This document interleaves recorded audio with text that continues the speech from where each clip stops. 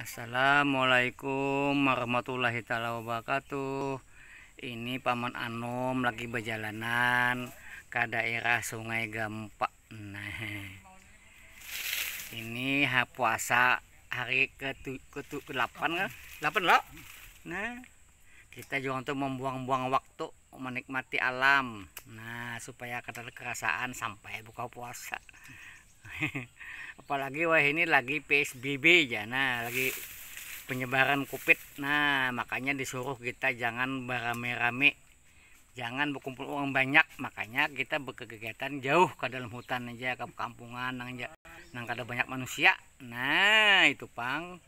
Kita mentati pemerintah supaya mencuci tangan jaga jarak. Nah jangan mengumpul uang banyak. Nah itu pang pemerintahnya tuh supaya uh, penyebaran penyakit ini cepat di kita batasi kita putus mata rantainya. Nah itu. Nah ini pang kebetulan di sini. Nah kita melihat nah orang lagi mau olah bibit. Nah kambang kenanga. Nah ini emang kenanganya nah.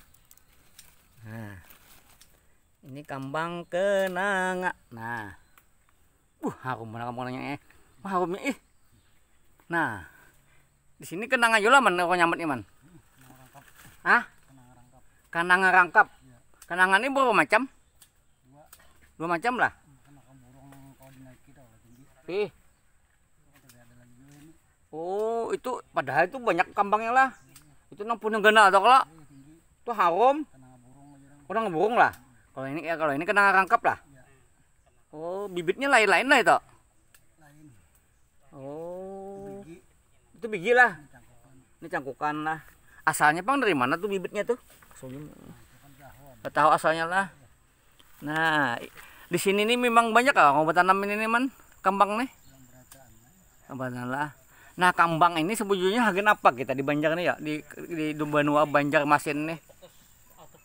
Apa? Kebanyakan gula gula kambang berinting lah. Nah kambang berenteng lah.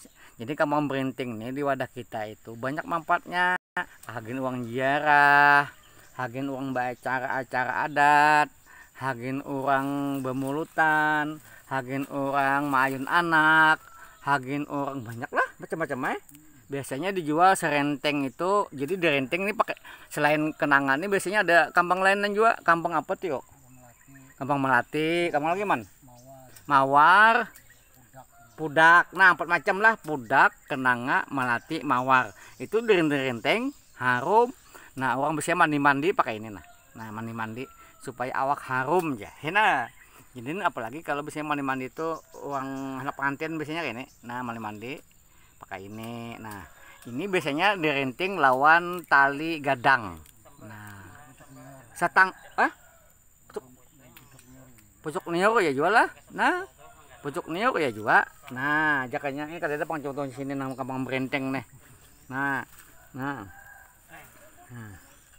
Pakai cuk nior di ano biasanya dijual serinting tuh berapa masa gadang dok biasanya.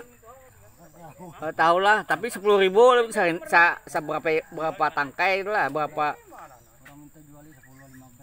Oh untuk jual sepuluh lima belas dua puluh lah kau aja lah. Nah nah sidin sini. Siapa nggak pian pak Haji Supiani nah sini asli uang sini pak. Oh so. Andai juga nah luar biasa sih ini berjasa benar berjasa untuk melestarikan tanaman. Nah siapa tahu sini ini kan dengan membibitakan ini walaupun nawa itu sini berjual tetapi ada nilai yang tersendiri sini menyelamatkan plus nutpahnya nih nah. Kalau sini menanam ini berjualan ini kalau ini berumur 100 tahun banyak seandainya 100 tahun 10 tahun lah mungkin lah itu bayangkan aja menghasilkan oksigen. Nah memperindah lingkungan menghasilkan bunga. Dan ini habitat banyak binatang. Luar biasa sini Mbak Maljer ya. Luar biasa nang jangan dianggap sepele nang kain ini. Kita nawa itunya nah. Ketimbang kita nang tuang tabang pohon itu bang. Nah merusak alam. Nah ini kan sidin memperbanyak. Nah sidin bola bibit loh pak. Apa nggak anu mencangkuk kasih apa pak nah ini dicangkuk nah ini ania pembibitan sidin secara massal Sidin sehari ini berapa buting pin dapat? Seribu. Oh, seribu seribu batang sih dapat. Cangkok babatnya. Lah, tapi ini ini berapa posisinya tuh kayak pegang posisinya nih. Ditang- ditangkal, kan. Oh, jadi ini nah ditangkal, ini nah ini ini kayak ini nah di, di, di- ditangkal pakai lading. Nah, lalu terbuka kulitnya. Nah, imbah itu hanya di, diikat lawan sabut ya, lo. Ya, Tapi sabutnya kan sabut sembarangan lo. Sabutnya sabut berandam kah? Sabut khusus. Nah, ini setelah ini setelah pian tangkal, pian babat itu berapa lawas biasanya? 40 hari bakar. 40 hari lah bakar. Nah, 40 hari bakar itu siap dijual lah, Pak?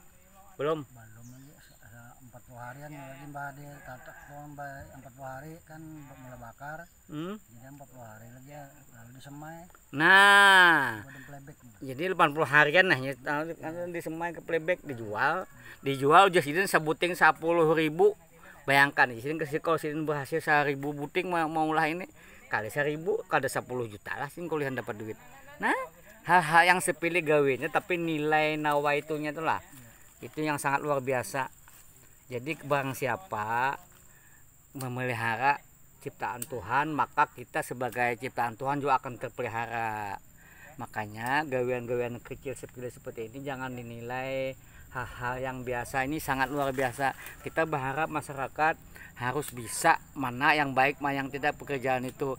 Tapi kalau Paman Anu menyarankan bagaimana kita menyelamatkan alam supaya alam yang ada di bumi ini tetap lestari sehingga kita hidup nyaman. Inilah Paman Anu melaporkan dari Sungai Gampak, Kecamatan Sungai Jingah ya kah? Ya. Nah kalau, kalau Sungai Jingah, Banjarmasin Utara. Makasih.